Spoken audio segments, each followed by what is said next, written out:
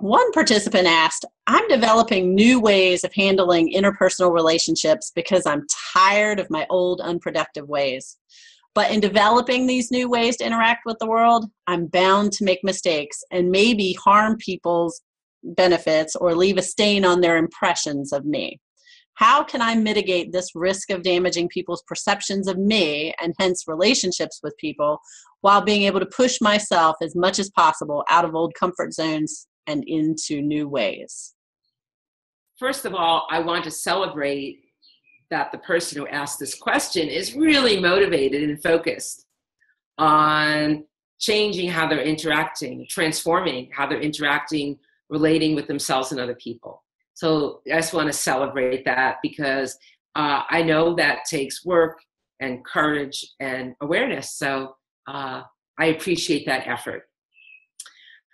Now, what I suggest to people, and I suggest this at home as well as at work, when you are new to learning nonviolent communication or collaborative communication and, and integrating this, I would let people know. So there's some shared understanding about what's going on. What that can sound like in a workplace setting is I just want you to know I've been learning some new communication skills. I'm really excited about them. I really think they're going to make a difference. If you feel uncomfortable by the way, saying communication, I've been studying up on some new collaboration techniques.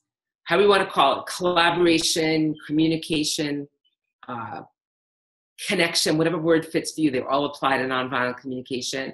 And I'm really excited about them. And I'm also aware that it may sound a little bit different from how you're used to hearing me speak and communicate. And if something comes out sounding a little awkward, or if you're a little confused or uncomfortable, uh, I hope you'll have some understanding that I'm learning something new.